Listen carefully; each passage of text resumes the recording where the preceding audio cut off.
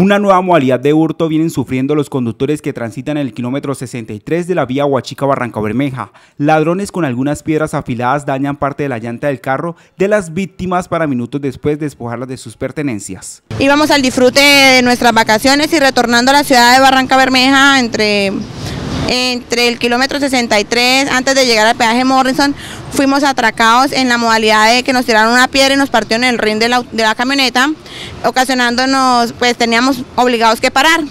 Ahí mismo llegaron los sujetos eh, armados, eran dos, uno, uno como de 27 años y otro como de 23, a los cuales nos, nos dice que colaboremos porque de lo contrario vamos a quedar muertos como todos los que han quedado en esa carretera. Sin embargo, esta familia santanderiana, quien regresaba de días de vacaciones, señala que cargaban esmeraldas y oro que fueron apoderados por los ladrones.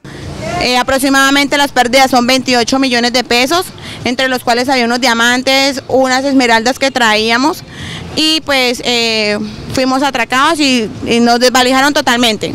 Nos quitaron todo, ropa, bolsos, todo, eh, a lo cual le pedimos y le informamos a toda la comunidad de Bucaramanga, Barranca Bermeja y sus sectores, si llegan a encontrar documentos pertenecientes a una extranjera, nos colaboren con ellos y nosotros estamos dispuestos eh, pues, a dar gratificación.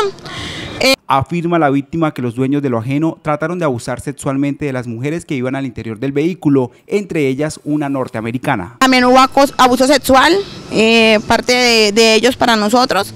Entonces, a todos los automóviles le hicieron lo mismo, nos requisaron, nos requisaron tocándonos nuestras partes íntimas y pues eh, buscando, ellos decían que teníamos más cosas escondidas. Señalan que el mismo día fueron hurtados cuatro vehículos más. Las autoridades ya tienen conocimiento del caso y esperan que puedan capturar a la banda dedicada a este tipo de hurto.